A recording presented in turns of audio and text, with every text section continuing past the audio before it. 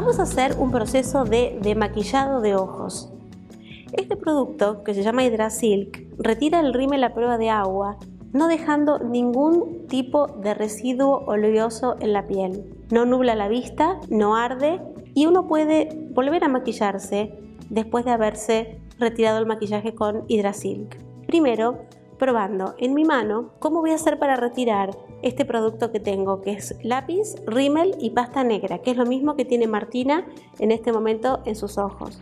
Vamos a tomar un poco de Hydrasilk con un algodón húmedo con un poquitito de agua, lo vamos a colocar y rápidamente se va a disolver el maquillaje.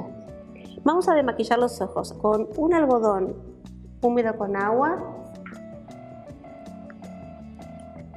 suavemente para retirar el maquillaje. ¿Mm? Miren cómo sale de una vez el producto. Vamos a poner otro algodón con un poquito más de agua y vamos a terminar de sacarlo.